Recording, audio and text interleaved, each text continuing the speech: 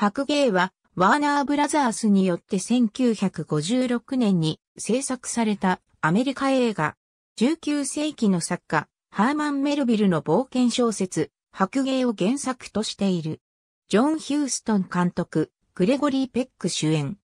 1841年、イシュメールが冒険を求めて、捕鯨船ピークオット号に親友のクイークエグッと共に乗り込んで大海原に出た。そこで、クジラの歯でできた白い義足に、肩幅の広い体を支えられたエーハブ船長と出会う。エーハブは足を食いちぎられた恨みに宿敵である白芸を追うことを船乗りたちに誓わせる。長い年月の航海の後、ついに宿敵の白芸がその巨大な姿を現した。エーハブの指揮するボートを先頭に、スターバック、スタップ、フラスクの3人が指揮したボートが続き、決死の覚悟で追跡を続ける中、白芸は海中に沈んだ。後に、それまで静かだった海面が割れ、水中が立ち、モビーディックが真っ向からエーハブに挑む。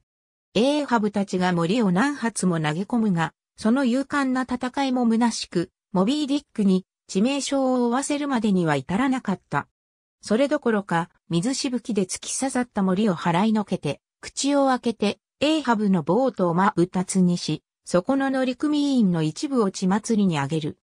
イシュメールとクイークエグは引き上げられたが、海に落ちたエーハブは、クジラに突き刺さっている森の綱につかまり、白芸の体をよじ登り、振り払おうとするモビーディックの抵抗をものともせず、森を何度も突き刺し続ける。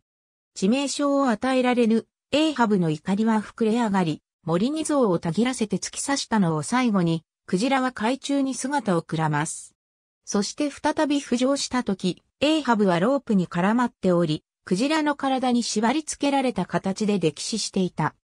しかしながら、クジラに揺られて、あたかも自分たちを招くように、エーハブの手が動くのを見た船乗りたちは、死してなおモービーディックへの復讐に執念を燃やすかの、ようなエーハブ船長の姿に心を奮い立たせ、最後まで戦うことを決意する。しかし、いよいよ白芸の凶暴性は剥き出しになり、乗組員は全員が海に投げ出され、最後にはピークオット号は沈没させられる。この壮絶な戦いの後、白芸は海中に消えてゆく。船乗りのうち、イシュメールだけが奇跡の生還を遂げ、物語の幕は閉じる。ありがとうございます。